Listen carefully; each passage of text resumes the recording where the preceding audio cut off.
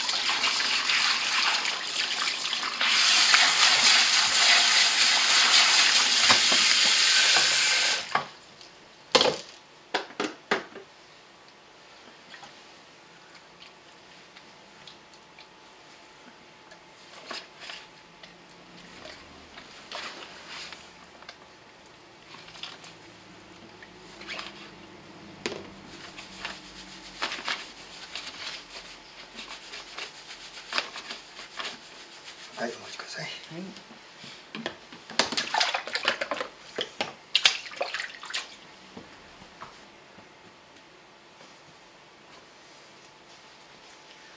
この間久しぶりにうちの子あの選挙のポスターでさはい。選挙のポスターでなこの間新聞でしたけど7500何通応募してはい。学校から出してくれたんだけどはい16人はい。優秀賞もらったの。はい。で最優秀って南吉の子なんだけどはい。その子全国1位なの、すごいじゃん。うん、それでこの間あの県庁に飾られてるんで見に行ったんですよ、はい。優秀賞で。はい。で12 12日まで飾ってあってその後渋川市であの12日から20日ぐらいまでロビーに展示あの入り口のところかい？はい。あそこ飾られるんだけどさ。はい。県のは二課店の会員さんが審査員なんだよね。はい。で渋川は渋川でも優秀賞もらったんだけどはい。最優秀の子は県に行っても何ももらえないのよ。うん。賞に入んないの。うん。でうちの子となん、うん、し子持ちかな？ぐ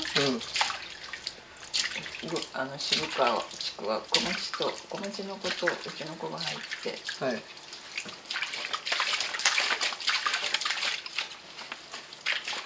せっかく入ったんだからお父さん見に行こうっつってさはい。行ってきた。まあそうだよね